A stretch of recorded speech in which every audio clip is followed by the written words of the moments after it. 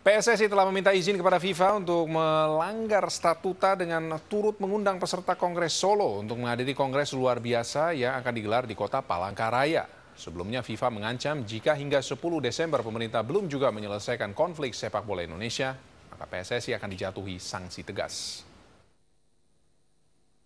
Ditemui di kantor PSSI hari Selasa, Sekjen PSSI Halim Mahfud menyatakan PSSI akan mengundurkan jadwal Kongres luar biasa yang sebelumnya akan digelar pada tanggal 7 Desember menjadi 10 Desember di Palangkaraya, Kalimantan Tengah.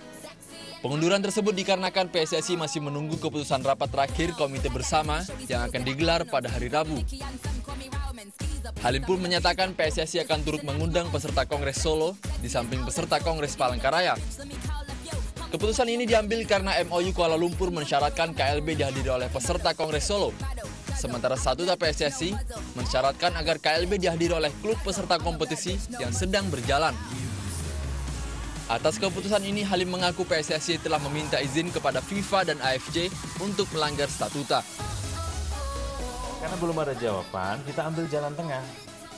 Oke, kita menyelenggarakan kongres dengan peserta uh, Palangkaraya, namun kita juga mengundang peserta kongres hasil Solo tapi tetap dengan catatan kita kirim memberitahukan lagi kepada AFC dan FIFA. Ini kita undang loh atas permintaan MUU. Lebih lanjut, Halim menyatakan Sekjen FIFA Jerome Falk telah mengirimkan surat kepada Menpora Andi Malarangeng agar segera mengambil langkah tegas terkait permasalahan yang menimpa dunia sepak bola Indonesia. Jika tidak, FIFA yang telah memberikan tenggat hingga 10 Desember tidak segan untuk memberikan sanksi kepada Indonesia. Hanif Mustafat, Metro TV.